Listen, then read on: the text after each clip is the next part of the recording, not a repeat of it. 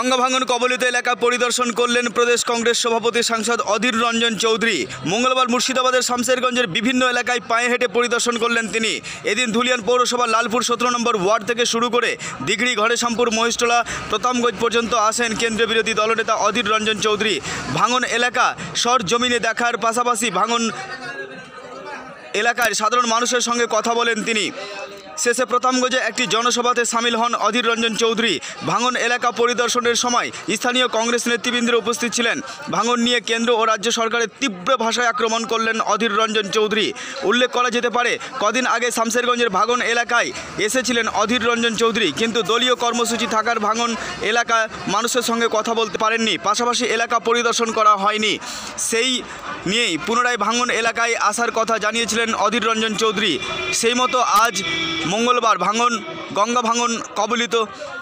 সেই কথা মতোই মঙ্গলবার সকালে গঙ্গা ভাঙন কবলিত শামসেরগঞ্জে আসেন অধীর রঞ্জন চৌধুরী। এদিকে ভাঙন সমস্যার সমাধান সহ নানা বিধি দাবি নিয়ে সাংসদ অধীর রঞ্জন চৌধুরীকে স্মরণরূপী তুলে দিলেন গঙ্গা ভাঙন প্রতিরোধ কমিটির পক্ষ থেকে। অরাজনৈতিক মঞ্চ করে বক্তব্য ও স্মরণলিপি দেওয়া হয়। অরাজনৈতিক মঞ্চের সভায় অধীর রঞ্জন চৌধুরী, পাশাপাশি সামিল হন দক্ষিণ মালদার সাংসদ আবু হাসেম খান চৌধুরী। কি বলছেন? শুনুন। সরকার নির্বিকার যুক্তির বাহানা তৈরি করে তারা নিজেদের দায়িত্ব এড়িয়ে যাচ্ছে। কেন্দ্র বলছে রাজ্য রাজ্য বলছে কেন্দ্র। মানুষ আজ আল্লাহর ভরসা ভগবানের ভরসা করে আছে। আপনি কেন্দ্রীয় মন্ত্রীর সঙ্গে দেখা করেছিলেন আপনি কি আলোচনা হয়েছে? এই আলোচনায় করেছি। টাকা দিন ভাঙন ঠেকানোর চেষ্টা করুন। আপনি একবার পরিদর্শন করুন। কেন্দ্র বলে রাজ্য কিছু দেয় না রাজ্য বলে কেন্দ্র কিছু দেয় না।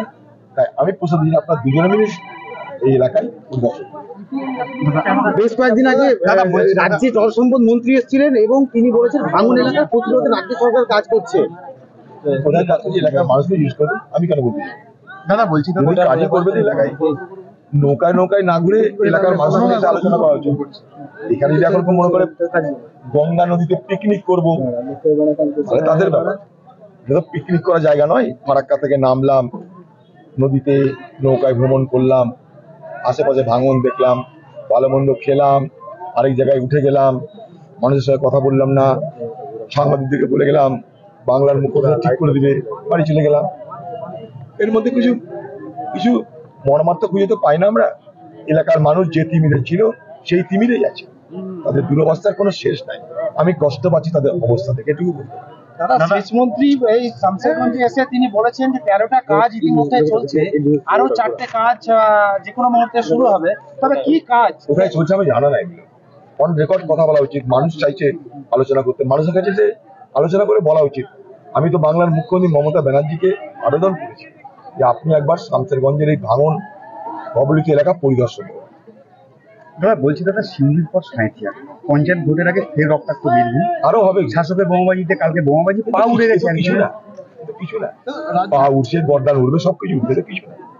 যত পঞ্চায়েত এগিয়ে তত হিংসা বাড়বে। দাদা উচ্চ মাধ্যমিক উচ্চ মাধ্যমিকের কর্মশিক্ষার